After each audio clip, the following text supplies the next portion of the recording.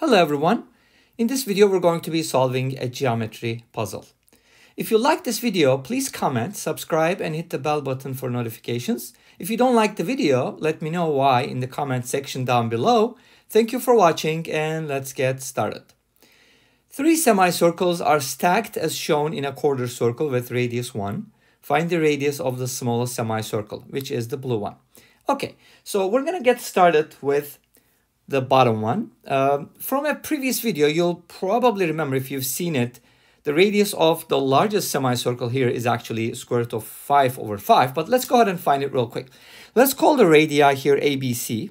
Okay, so I'm going to call this one A, I'm going to call this one B, and I'm going to call this one C. Okay, now we know that this is also A, this height here. And what I'm going to do is I'm going to make a crucial connection here, like this way. Ooh, all right, so I'm going to go ahead and connect this this way. And that way I can use the Pythagorean theorem. So keep along to keep a long story short, I'm going to tell you that this is going to be a as well. And what we have is a squared plus 2a quantity squared is equal to 1, which means 5a squared is equal to 1. And from here we get a squared is equal to 1 fifth and a is equal to 1 over root 5, which can be written as square root of 5 over 5.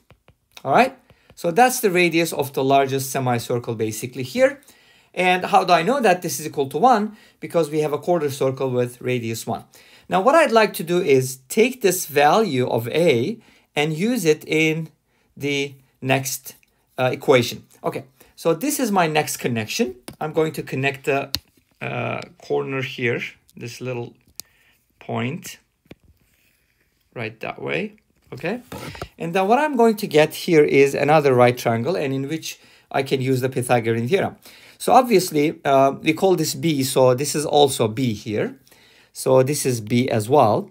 Uh, so what I have is a right triangle uh, whose height is A plus B and whose base is 2B to be or not to be. You know, I always make that joke, even though it's very cheap. Okay, anyways, so we have a plus b squared plus 2b quantity squared is equal to 1. Again, we're always getting the radius of the quarter circle here, which is nice. That's why we pick those points as our reference points because that makes it easier to calculate. Okay, so what am I going to get from here? First of all, notice that I do have the value of a, so I can just go ahead and plug it in. So this gives me b plus root 5 over 5 squared plus 4b squared equals 1.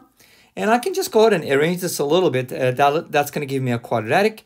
Uh, I'll be getting 5b squared plus 2 root 5 over 5b. And then uh, 1 over root 5 squared is 1 over 5. So 1, 1 fifth minus 1 is negative 4 fifths. And you can just go ahead and, you know, multiply everything by 5, which is probably going to make it a little easier so that you can get a nice uh, flat quadratic. And then what you can do is solve this quadratic using the formula. Uh, we do need to find the value of b, obviously, to find the value of c. So let's go ahead and find that first. To find b, I'm going to use quadratic formula. But notice that the product of the roots, and how do I know that from Vieta's formulas, right? Uh, I know that the product is negative, which means I have a positive and a negative root. The negative root is not acceptable, so I'm just going to go with the positive. Speaking of uh, Vieta's formulas, by the way, I'm thinking about making a video maybe tomorrow. Uh, it's going to be about Vieta's formulas, but I think those are important. Uh, even though they're basic formulas, uh, they have a lot of good usage, so I'm planning to make a video um, on Vieta's formulas. Okay, anyways, that's another topic. So now uh, we have negative b by the way, b is the coefficient of b. It's kind of weird, but that's just, just the way it is from quadratic formula.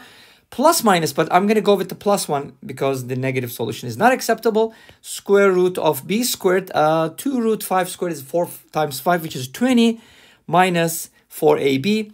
Uh, here we have 4ab is negative, so that's going to turn into a positive there, divided by 2a, which is 50. Okay, we can go ahead and simplify this a little bit. Uh, obviously, we have some uh, perfect squares, but let's go ahead and um, multiply these together. First, uh, that's going to be a 4 times 4, which is 16. 16 times um, 25 is 400, 420. Okay, that's going to give me 420. And how can I simplify the 420? I'm thinking about maybe writing it as 4 times 105. That would probably uh, make sense, but I don't know. Uh, let me just write it this way first. Maybe I'm skipping some steps here. Okay, cool. Let's go ahead and simplify this as much as we can. Now notice that I, I'd like to get out of 2 here because everything is divisible by 2. So if I divide by 4, that's going to be a 4 times 105. And 105 is actually 3, 35 times 3, which doesn't contain any perfect squares. So that's nice. That's the only thing I can take out basically 2. So it's going to be 105 inside the radical and 50. Okay. Now divide everything by 2 and kind of write the 105 first. Uh, b is going to equal the square root of 105 minus the square root of 5 divided by 25. Okay, so that's going to be basically my uh, b value here in this equation. And what I'd like to do is use this b value to calculate the c value. Okay, so that's this is basically the radius of the green. I don't know if you can distinguish the colors here. They're kind of close, but the medium-sized semicircle has a radius b. And as you can see, we found the value of b here. Okay, so what, what I'm going to do is I'm going to go back here and write another equation for C and then use that down below uh, along with the value of B and that way I'm going to find the answer. Okay, awesome. Let's go ahead and use a different color here. So let's make our last crucial connection here to this point from the center of the quarter circle to that point. That's going to be super important, obviously. So let's go ahead and connect them like this. And then that's going to give us another right triangle, obviously. And let me go ahead and show you which triangle I'm talking about. This giant one. Maybe not too giant, but kind of, you know, a long one. So this gives us what? Uh, well, this is a C. So I'm getting A plus B plus C and then 2C. Okay, we don't have a joke for that. It's just 2C.